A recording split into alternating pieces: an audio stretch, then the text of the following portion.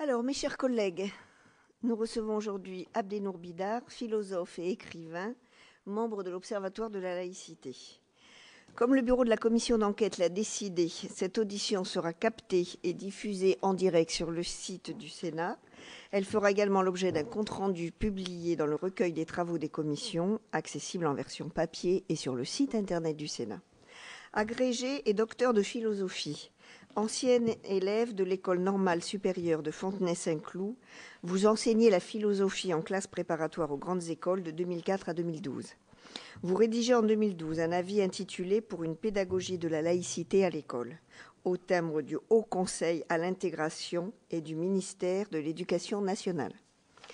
Outre vos nombreux articles publiés, notamment dans la revue Esprit, dont vous êtes membre du comité de rédaction, vous êtes l'auteur de plusieurs ouvrages remarqués, dont une histoire de l'humanisme en Occident, en 2014, et plaidoyer plus récemment, donc en 2015, plaidoyer pour la fraternité. La Commission a souhaité vous entendre pour recueillir votre analyse des difficultés rencontrées par l'école dans la transmission des valeurs de la République. Vous pourrez sans doute éclairer nos travaux sur les solutions à mettre en œuvre pour rétablir l'école dans sa mission d'intégration et de formation des futurs citoyens. Avant de vous passer la parole, le formalisme des commissions d'enquête me conduit à vous demander de prêter serment. Je suis également tenu de vous indiquer que tout faux témoignage devant notre commission serait passible des peines prévues aux articles 434-13 à 434-15 du Code pénal. En conséquence, je vous invite à prêter serment de dire toute la vérité, rien que la vérité. Levez la main droite et dites je le jure. Je le jure. Je vous remercie. Selon l'usage habituel, je vous propose de nous faire part de vos observations durant une dizaine de minutes, après quoi notre rapporteur Jacques Grosperrin et les membres de la commission qui le souhaitent pourront vous poser leurs questions. Vous avez la parole. C'est bon. Madame la sénatrice, mesdames et messieurs, euh, J'interviens devant vous en tant euh, notamment euh, que euh, chargé de mission sur la pédagogie de la laïcité à l'école auprès de la Direction générale de l'enseignement scolaire, de la DGESCO, en tant que membre également de l'Observatoire national de la laïcité, et puis en tant que philosophe spécialiste de, ces questions de, cette question de la laïcité. De, des questions de sécularisation et du devenir du religieux dans les sociétés du monde, du monde contemporain. En tant, que, chargé de mission laïcité auprès de la DGESCO, euh, j'ai été conduit, euh, Vincent Payan étant ministre, à participer aux travaux euh, d'écriture de la charte de la laïcité à l'école. Et je dois dire que à partir de ce moment-là, il y a eu de ma part et de la part de l'institution une prise de conscience progressive qui est la suivante nous nous sommes, euh, nous nous sommes rendus compte à quel point euh, avait euh, été laissé en déshérence pendant un certain nombre d'années la question de la capacité des professeurs et des personnels de l'institution à transmettre les valeurs de la République. nous nous sommes aperçus au moment de la publication de la charte que eh bien, la transmission des valeurs inscrites dans la charte de la laïcité n'allait pas de soi et que ce geste de publication de la charte, bien qu'il ait été salué, il a été salué euh, dans, l'institution, a provoqué en même temps euh, un certain embarras, une certaine perplexité, parce que euh, beaucoup de, professeurs, beaucoup de chefs d'établissement nous ont dit que, bien que l'objet soit esthétique et a priori utile, il leur était difficile, en l'état actuel de leur formation, plutôt en l'état actuel de leur manque de formation, de s'en servir véritablement comme d'un support pédagogique. Et la prise de conscience, donc de ma part et de la part de l'institution, euh, a été que, euh, eh bien, il s'agissait pour cette institution de retrouver ce que nous avons appelé une culture professionnelle commune relative à la capacité de transmettre effectivement ces valeurs de la République. Euh, une culture professionnelle commune, euh, pour le dire d'un terme qui a, euh, classiquement une autre signification dans l'institution éducation nationale, nous nous sommes rendus compte que nous avons à retrouver, au sujet de cette capacité à transmettre les valeurs de la République, un socle commun. Mais cette fois-ci, un socle commun non pas du côté des élèves, mais du côté des personnels, un socle commun de connaissances, de compétences et de culture. Nous devons retrouver des connaissances collectivement euh, c'est-à-dire une architecture intellectuelle qui euh, rende chacun des professeurs en charge euh, de transmettre quelque chose aux élèves capable de le faire, donc capable de connaître le sens, l'enjeu la valeur et puis les débats actuels autour de la laïcité et autour des, valeurs de la République. une compétence professionnelle aussi, c'est-à-dire non seulement une connaissance intellectuelle ou une connaissance théorique ou une architecture théorique, mais également une capacité pédagogique, directement pédagogique, à porter un discours sur les valeurs. Euh, à partir du, je dirais, de la phase initiale de cette prise de conscience qui a eu lieu, à mon sens, euh, lorsque Vincent Payan était ministre, eh bien, euh, il y a eu un deuxième temps à partir des événements de janvier. Cette fois-ci, Najat Vallaud-Belkacem étant ministre. C'est-à-dire que nous nous sommes rendus compte, comme la nation tout entière, me semble-t-il, ou comme la société tout entière, nous nous sommes rendus compte à quel point il devenait urgent que l'école redevienne le creuset euh, de la transmission des valeurs de la République, qui, à l'évidence, n'était plus euh, du tout suffisamment partagée euh, au profit de notre vivre ensemble. Bon. Et à ce moment-là, l'institution par, la bouche de la ministre, donc, s'est mise en ordre de marche pour ce qu'on a appelé une grande mobilisation. Nous avons donc entrepris un plan de formation à l'échelle nationale, tout d'abord de 1000 formateurs sur ces questions de euh, transmission euh, des valeurs de la République.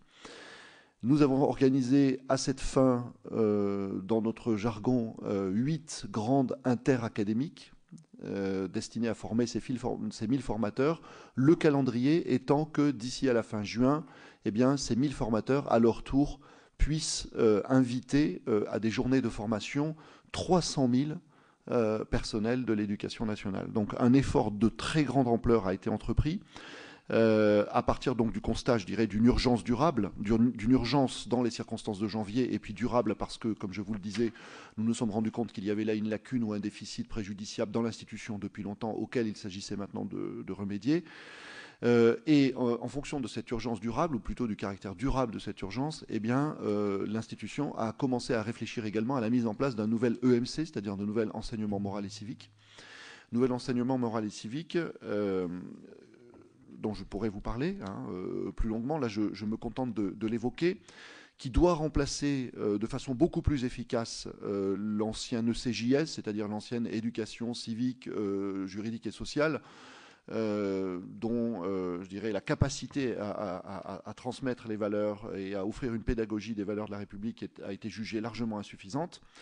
Euh, et enfin, pour compléter le tableau de cette prise de conscience et des moyens que nous avons mobilisés, sachez qu'un effort particulier est fait en direction des SP, c'est-à-dire des écoles supérieures du professorat et de l'éducation, euh, la volonté du ministère est d'entrer dans une relation de collaboration étroite avec ces SP de telle façon que nous ayons euh, la garantie que dans chacune de ces SP, la pédagogie, c'est-à-dire la capacité pédagogique des futurs professeurs à transmettre les valeurs de la République, soit assurée par le fait que, eh bien, à l'intérieur de ces SP, euh, cet objet transmission des valeurs de la République soit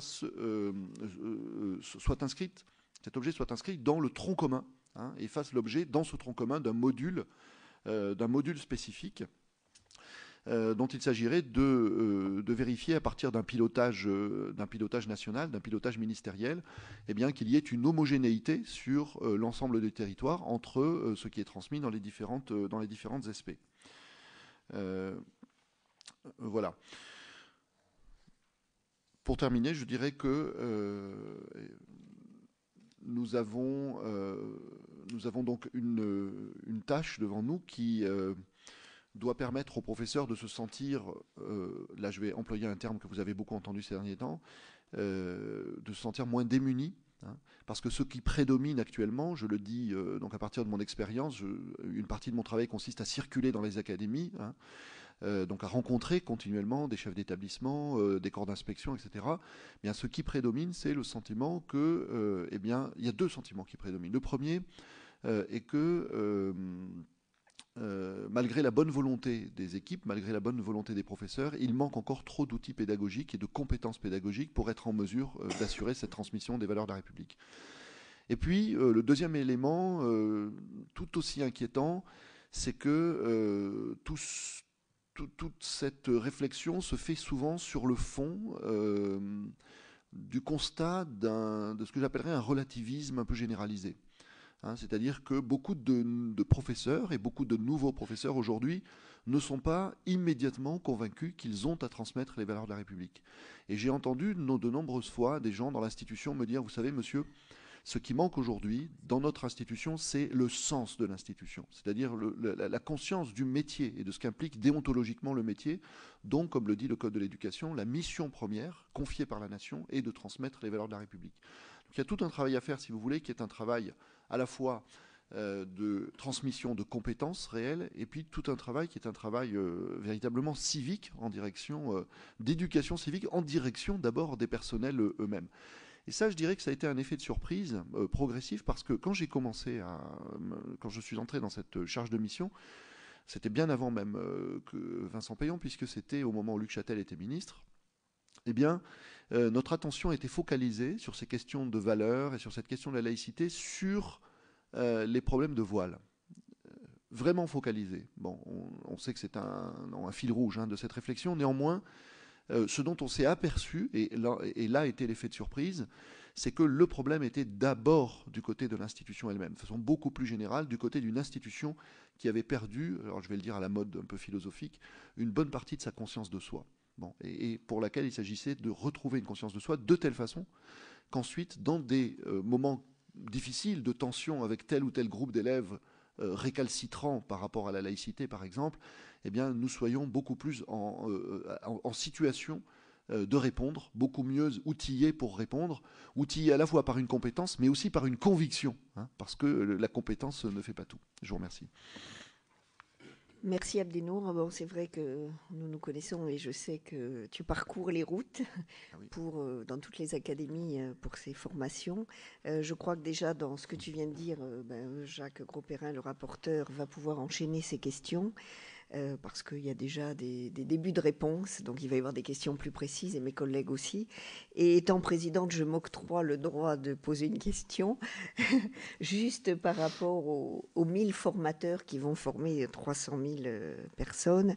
Nous en avons entendu parler de façon euh, différente plusieurs fois lors de nos auditions, et donc on nous a dit que la formation pouvait aller de 4 heures à je sais pas combien. Euh, est-ce qu'il y avait pour ces 1000 formateurs un vrai module de formation, une petite valise hein, que c'est le mot à la mode aussi, ou la boîte à outils selon, euh, où il y a des choses qui sont identiques pour tous ces 1000 formateurs qui sont censés euh, essaimer sur tout le territoire? Voilà, c'est ma première question, mais Jacques va poser ses questions et ensuite ben, il y aura une réponse. Merci. Merci Présidente, merci Monsieur Bidard. Euh, merci de vos propos. Je voudrais vous poser euh, quatre questions. Euh, suite à un article que vous avez écrit dans, la revue Esprit en, octobre 2014, vous faites le constat de la perte de sens de l'institution. Vous venez nous en parler. vous parlez également de, conscience de soi, que l'institution a perdu, en tout cas, la conscience de soi. J'aurais souhaité que vous développiez cette, cette partie, mais surtout, comment faire en sorte que l'ensemble des personnels de l'éducation nationale soient porteurs d'une conviction? Parce qu'au-delà de la formation, euh, je pense qu'il peut, exister ou nous pouvons créer quelque chose. Est-ce que vous n'avez pas l'impression que l'instauration d'un code de, déontologie spécifique vous paraît-elle euh, appropriée? Ça sera ma première question. Ma deuxième question, ce sont euh, les normes en, matière de laïcité dans les établissements scolaires. Est-ce qu'elles vous paraissent adaptées Est-ce qu'il vous semble qu'il faudrait étendre les dispositions de cette loi du 15 mars 2004 Troisième question, la laïcité euh, suffit-elle à fonder une identité commune à l'ensemble des citoyens et la fraternité que vous appelez de vos voeux, nous l'avons sorti dans, vos propos, et quelle instruction civique euh, et morale l'école doit-elle donner? Et enfin, pour ne pas être trop long et surtout permettre à mes collègues sénateurs d'intervenir, parce que je pense qu'ils ont peut-être des questions qui seront en prolongement vis-à-vis de cela, euh, plus généralement, la difficulté que l'école rencontre à transmettre euh, les valeurs républicaines n'est-elle pas liée à une crise morale dont un symptôme serait surtout peut-être euh, le dénigrement de soi? Est-ce que l'intégration fonctionne? Comment donner une image plus positive? Merci. Réponse difficile. oui. Alors, d'abord, donc d'abord, je réponds à votre question initiale. Euh, euh, qui était relative à la, euh, formation des 1000 formateurs.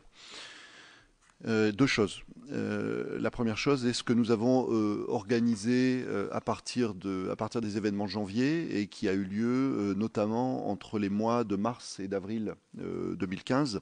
Nous avons organisé ce que j'ai évoqué rapidement, à savoir des, journées interacadémiques de formation dans lequel nous avons, auxquelles nous avons convié dans les académies euh, d'une part, tous les personnels qui étaient déjà identifiés en tant que formateurs euh, sur ces questions de laïcité et de valeur de la République, et puis euh, auxquels nous avons convié également toutes les bonnes volontés, c'est-à-dire toutes les candidatures. Beaucoup, on a eu beaucoup de candidatures spontanées de personnels qui ont manifesté à ce moment-là le, désir de s'engager pour justement faire partie de ces, de ces 1000 formateurs. Alors, qu'est-ce que nous leur avons offert d'abord lors de ces journées de, formation interacadémique?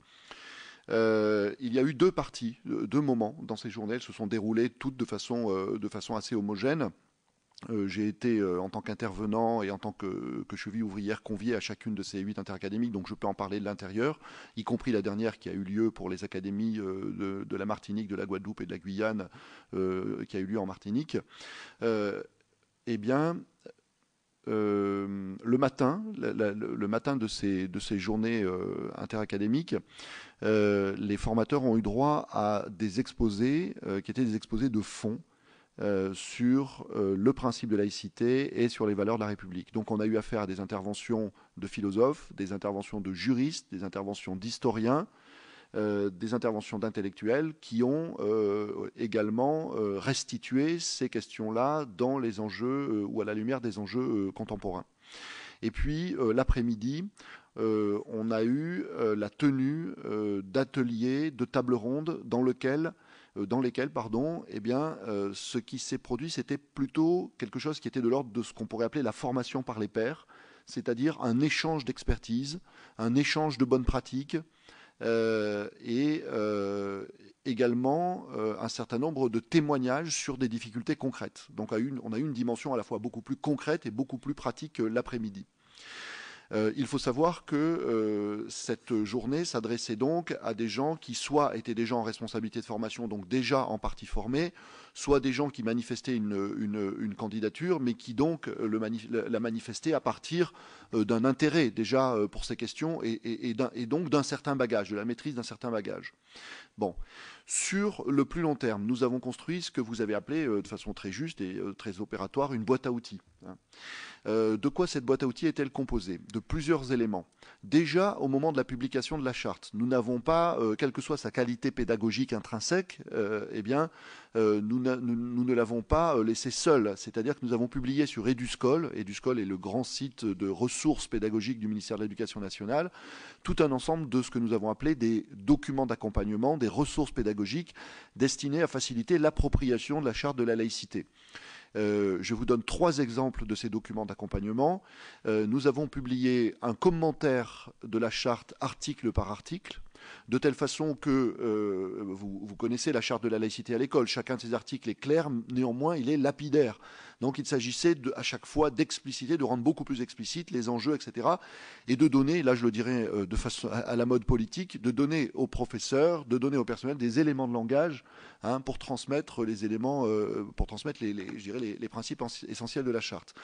Parmi euh, ces ressources pédagogiques figurait également euh, tout un arsenal de textes euh, juridiques, hein, des circulaires, le, rappel de grands éléments de la, de, la Constitution, de la Déclaration universelle des droits de l'homme, etc. C'est-à-dire que tout ce qui pouvait constituer pour les professeurs un socle légal et un socle réglementaire destiné à leur montrer d'abord que euh, la charte de la laïcité euh, à l'école n'était pas euh, hors cadre sur le plan légal, mais que, eh bien, au contraire, elle s'articulait sur, une, sur une égalité existante. Bon. Et puis le troisième élément que nous avons immédiatement publié sur Eduscol était constitué de ce que nous appelons communément des entrées-programmes. C'est-à-dire que nous avons fait quelque chose de systématique à cet égard. Nous avons montré comment, à partir du cycle 3, hein, c'est-à-dire de CM1, CM2 jusque euh, la classe de terminale en passant par le collège, il y avait dans les programmes des différentes disciplines euh, des thématiques qui pouvaient se prêter de façon tout à fait directe à une lecture de tel ou tel point de la charte de la laïcité et à une mobilisation donc d'une pédagogie des valeurs de la République. Voilà, de telle façon que les professeurs n'aient pas ce sentiment fâcheux qui est souvent le leur, hélas, que, eh bien, on ajoute une responsabilité euh, à tout ce qu'ils ont déjà à faire, et notamment à la lourdeur des programmes. Donc, on a voulu leur montrer que, à, l'occasion même des programmes, de façon tout à fait directe, euh, ils pouvaient euh, entrer dans cette pédagogie des, valeurs de la République. Bon. Premier élément de la boîte à outils, ce que nous avons donc élaboré à ce moment-là, c'est-à-dire au moment de la publication de la charte. Et puis, nous, nous avons, au moment donc de la mobilisation de janvier, publié sur Canopé, euh, Canopé qui est l'ancien euh, CNDP, euh, des, des, vidéos, des vidéos, notamment une dont j'ai assuré le, je dirais non pas le tournage au niveau technique, mais j'étais devant la caméra. Et là encore, il s'agissait d'offrir aux professeurs des éléments d'explicitation de la charte de la laïcité à l'école, destinés à leur montrer de la façon la plus, la plus concrète, la plus opérative, de quelle façon ils pouvaient l'utiliser devant les élèves.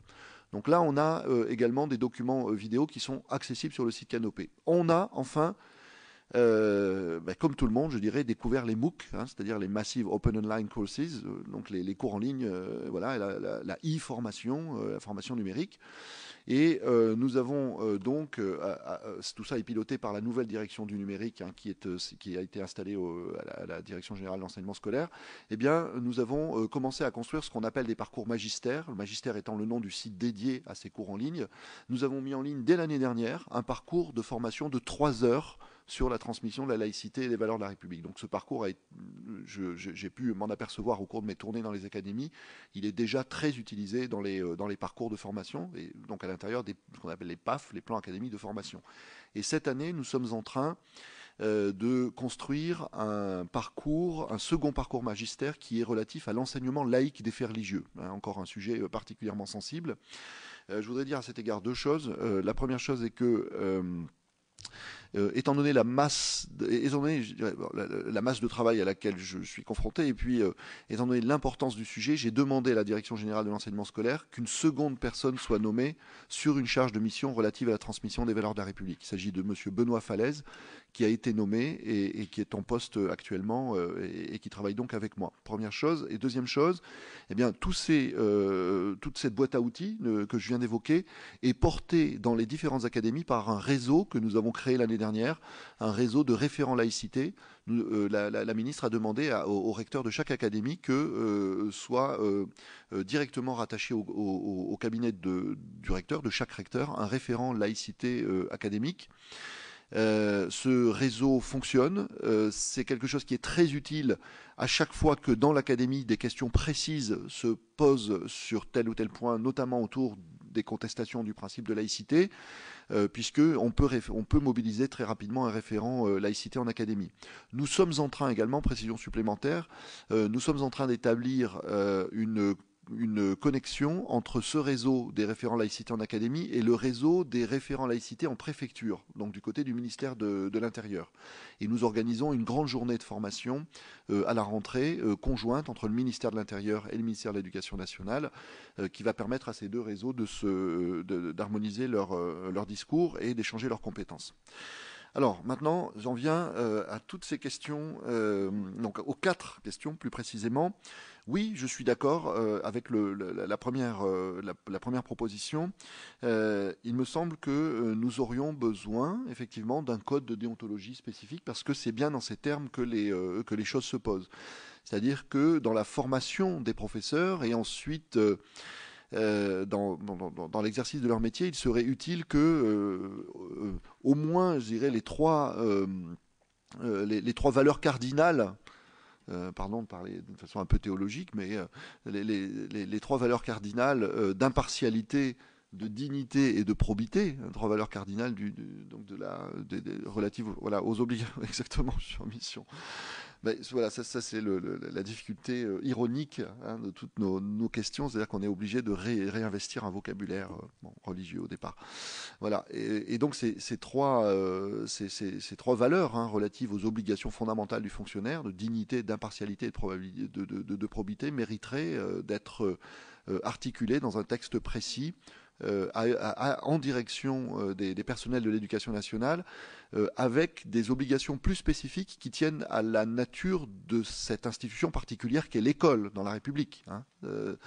Euh, si euh, le Code de l'éducation dit que la mission première euh, de, ces personnels est de transmettre les valeurs de la République, c'est bien qu'il y a là quelque chose qui demande à être souligné d'une façon tout à fait spéciale. Et je crois que ce serait quelque chose de très utile, notamment, alors au niveau de la formation, hein, et puis au niveau des établissements et des écoles à usage des équipes de direction des équipes de direction euh, qui ont, euh, dans un certain nombre de situations, l'opportunité de rappeler aux équipes éducatives euh, justement ces obligations déontologiques. Ça va être par exemple la réunion de rentrée, qui est un moment solennel, souvent un petit peu formel, qui pourrait être l'occasion, donc symbolique, un petit peu solennel, de,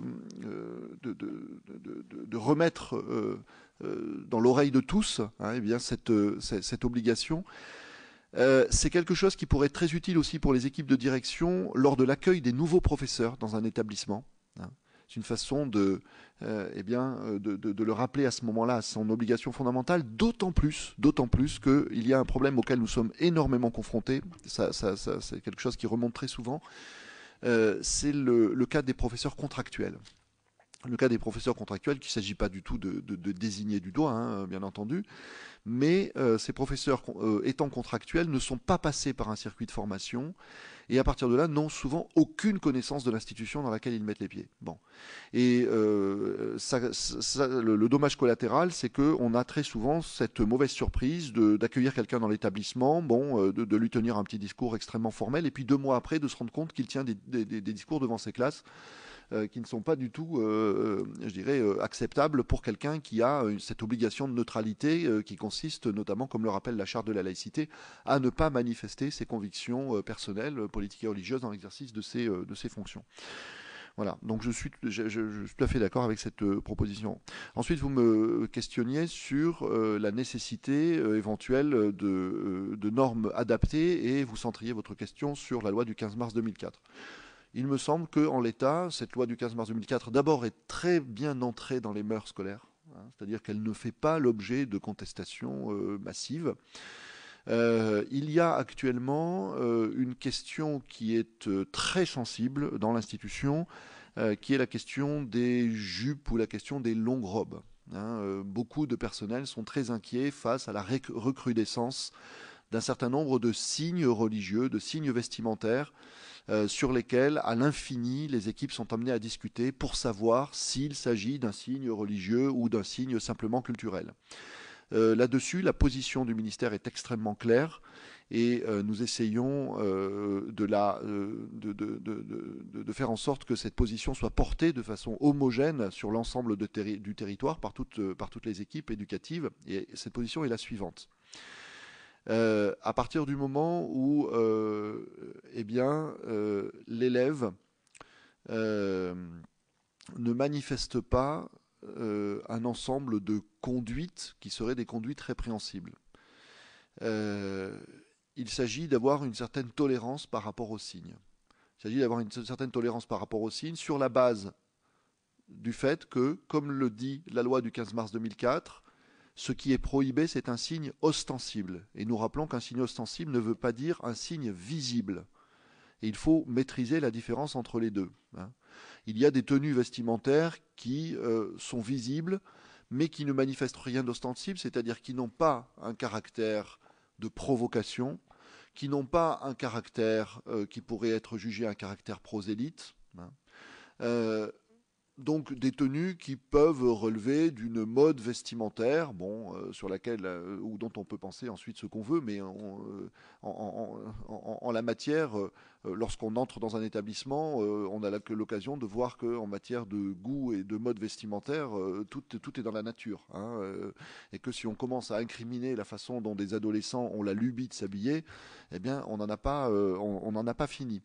Donc la position du ministère à partir de là est euh, d'inviter les personnels à beaucoup de discernement, euh, de telle sorte que euh, ce qui puisse faire l'objet d'une convocation, ce soit le signe plus un certain nombre de conduites ou de comportements qui vont être les suivants. Si un élève qui porte une tenue qui déjà en elle-même pourrait être considérée comme litigieuse, entre dans une logique de contestation du principe de laïcité, en euh, euh, causant à l'entrée de l'établissement des problèmes interminables au moment, par exemple, d'enlever un voile. Bon. Si le même élève entre dans une logique, dans une démarche qui va être une démarche d'absentéisme systématique par rapport à certains cours, notamment les cours de PS, pour des motifs qui seront de façon plus ou moins implicite ou explicite euh, d'ordre religieux. Si le même élève ou les mêmes élèves entrent dans une logique qui est une logique un petit peu séparatiste, c'est-à-dire une logique de bande, hein, on ne fonctionne plus à l'intérieur de l'établissement qu'avec les autres qui s'habillent comme nous, bon, et euh, donc euh, on, on, entre dans une logique qui est une logique un peu sécessionniste et avec avec ou pas des pressions qui pourraient être exercées sur d'autres groupes d'élèves. Voilà. Donc à partir du moment où on a comme ça un faisceau de signes qui montre qu'il y a un problème qui va être là objectivement euh, interprétable comme étant euh, quelque chose qui relève d'une forme de radicalisation. Alors j'emploie ce terme avec euh, mille guillemets parce qu'il ne s'agit pas nécessairement d'une radicalisation de type djihadiste, etc., hein, mais d'une radicalisation qui serait celle d'un, je dirais, d'un intégrisme religieux euh, euh, euh, sur le mode revendicatif, hein, c'est-à-dire visant à, faire de la présence dans l'école une sorte de happening hein, par lequel on veut à tout prix faire la démonstration d'une appartenance religieuse. Alors là, il y a quelque chose qui est manifestement contradictoire avec la vocation de ce lieu qu'est l'école, et nous recommandons au personnel la plus grande fermeté dans ce cas-là. Donc l'exercice pour nous qui est difficile, et vous voyez donc à quel point ça rend concret ou concrète la nécessité d'une pédagogie, de transmettre une pédagogie. La difficulté de l'exercice est d'inviter les gens à la fois au discernement et à la fermeté euh, à chaque fois que nécessaire. Hein, donc ne pas avoir la main lourde et ne pas être dans l'hyper-réactivité par rapport à des signes vestimentaires et en même temps conserver une vigilance constante de telle façon que l'école reste ne s'agit pas de sanctuariser l'école, hein, bien entendu, euh, mais euh, que l'école reste ce lieu particulier où l'élève a cette garantie, et je crois que ça c'est un discours qu'il faut lui faire entendre, qu'il faut faire entendre aux parents également, euh, l'école est ce lieu dans lequel l'élève a la garantie que sa liberté de conscience, que son autonomie, eh va pouvoir reconnaître les conditions d'un libre développement. Voilà. Ensuite, la question de savoir si la laïcité suffit. Il est évident qu'elle ne suffit pas. Elle ne suffit pas d'abord parce qu'elle n'a jamais été, je dirais, déterminée comme suffisante dans le cadre républicain, puisque la laïcité est un principe au service de valeurs euh, je crois que là encore, hein, il y a un objet pédagogique euh, dans, l'institution et puis au-delà de l'institution, dans la société tout entière, euh, qui est important. La laïcité, c'est un cadre politique qui permet, si je veux le dire de la façon la plus rapide, à ceux qui croient au ciel et à ceux qui n'y croient pas, de vivre les uns avec les autres en bonne intelligence, dans le cadre garanti des mêmes droits et des mêmes devoirs. Je crois que c'est aussi simple que ça. Euh, le, malheur est qu'actuellement, dans notre société, on n'arrive pas à se rassembler autour de quelque chose qui devrait nous apporter ce bénéfice évident et, partagé. Bon.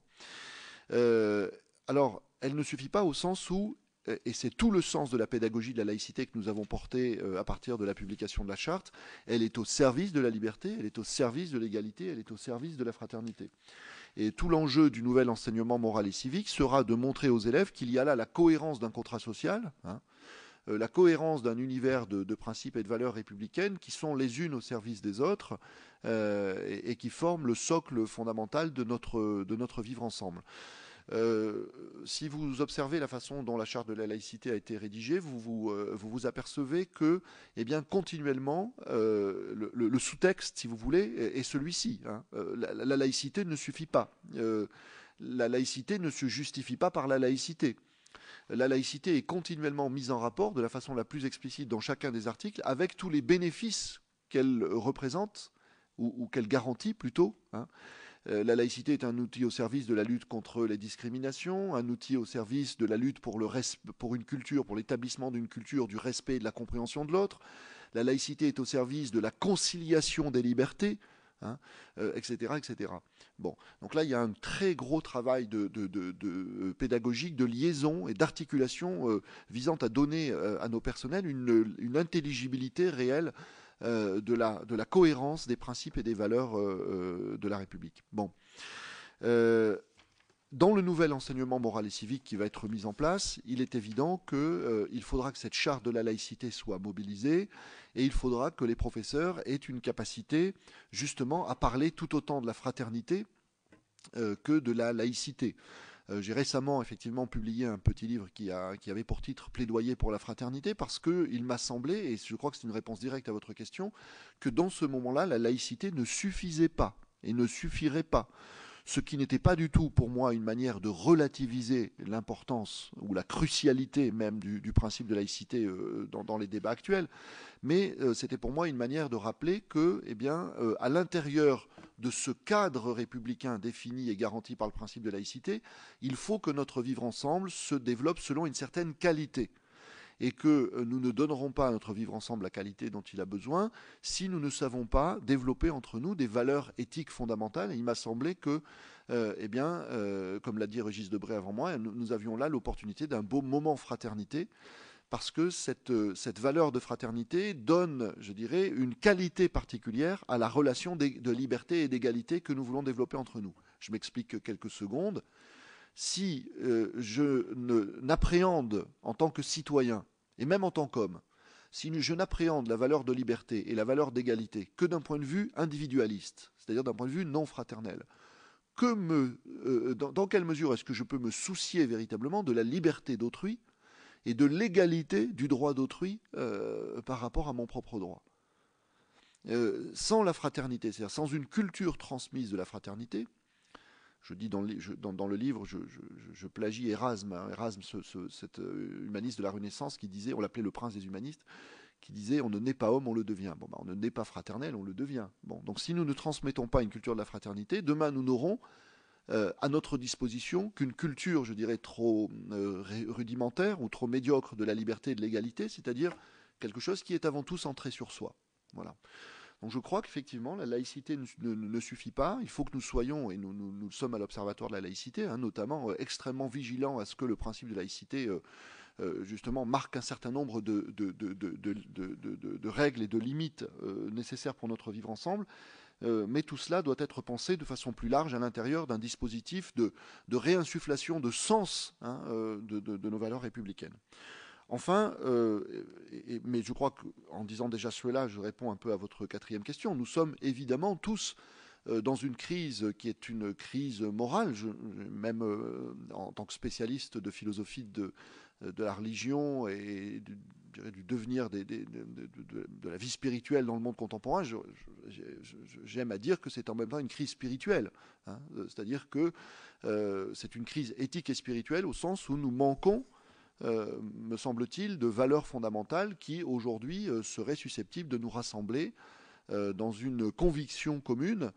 Et de toute évidence, nos principes et nos valeurs républicaines passent, en ce début du XXIe siècle, un test décisif de leur capacité, encore aujourd'hui, à nous servir justement de valeurs capables de nous rassembler. Et quand on voit à cet égard le scepticisme qui entoure ces valeurs chez beaucoup de nos concitoyens, on peut être inquiet nous qui travaillons sur la laïcité, nous voyons à quel point eh bien, c'est difficile, c'est-à-dire que euh, nous voyons à quel point on va nous objecter rapidement que la laïcité est quelque chose de liberticide, quelque chose qui stigmatise, etc. Euh, et puis le même scepticisme, je m'en suis rendu compte, entoure la notion de fraternité, dont on m'a dit après la publication euh, de mon petit plaidoyer que eh bien, tout ce qui pouvait politiquement se faire au nom de la laïcité était beaucoup trop idéaliste et beaucoup trop utopique de telle façon que j'en suis arrivé à me demander si, euh, eh bien, euh, finalement, nous ne devrions pas euh, laisser la fraternité rester un bel idéal de fronton, un peu vide, hein, mais quelque chose dont nous n'avons toujours pas l'audace institutionnelle et pédagogique dans l'institution de nous servir.